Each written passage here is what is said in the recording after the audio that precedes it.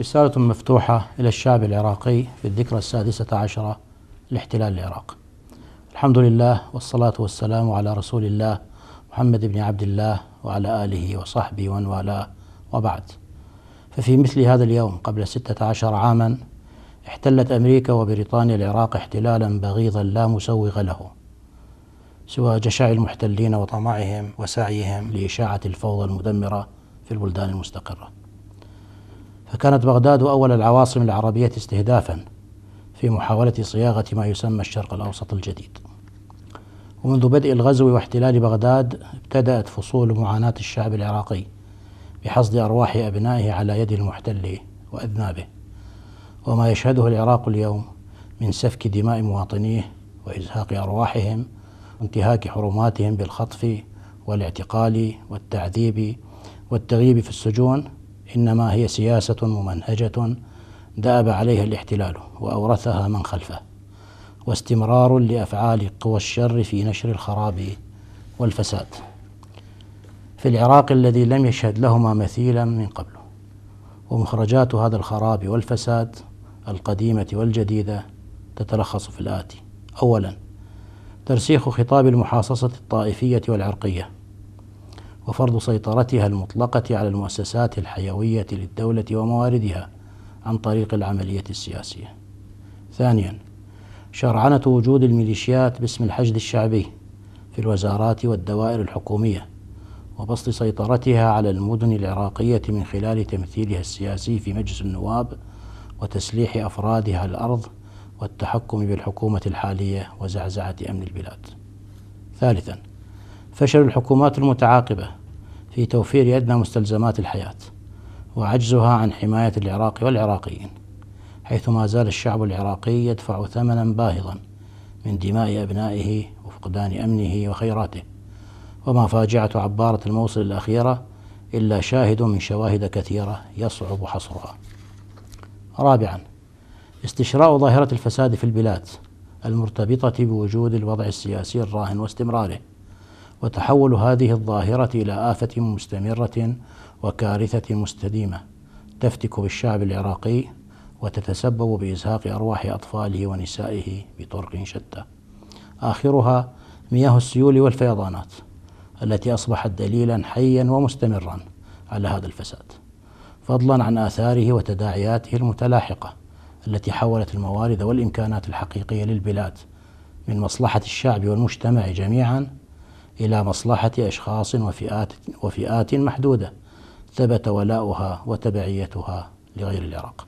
خامسا تغول التدخل الإيراني في العراق وتحوله إلى احتلال شبه معلن عن طريق نفوذه المهيمن على العملية السياسية والميليشيات الموالية له والوجود العسكري غير المبرر بأي صورة من الصور وتعامل المجتمع الدولي معه بما في ذلك الولايات المتحدة وليس خافيا أن التخادم والتعاون بين إيران وأمريكا في العراق في الملفات التي لا تشهد خلافا بينهما له شواهده ودلالاته التي لا يمكن إخفاؤها.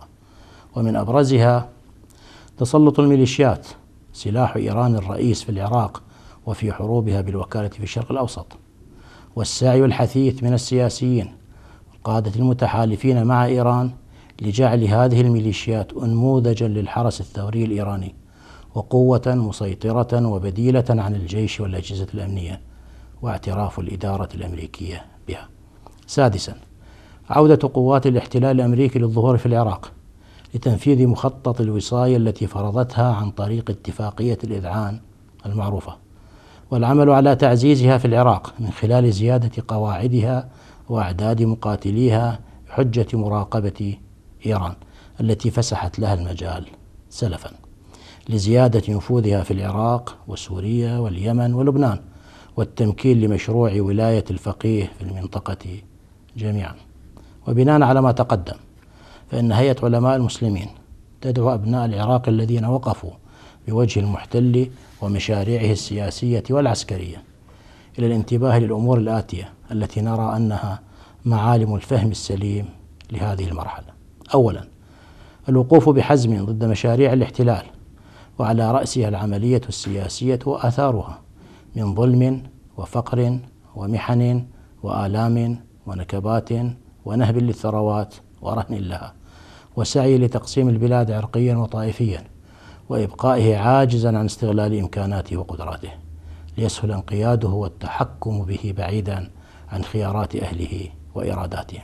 ثانيا عدم تصديق ما يشاع إعلاميا عن تنامي حالة العداء بين الطرفين الأمريكي والإيراني فإن هذا الأمر لا يعدو عن كونه صراع مشاريع فيها دلالات واضحة على استراتيجيات مرسومة لتقاسم المصالح وتحديد أولويات النفوذ لكل طرف.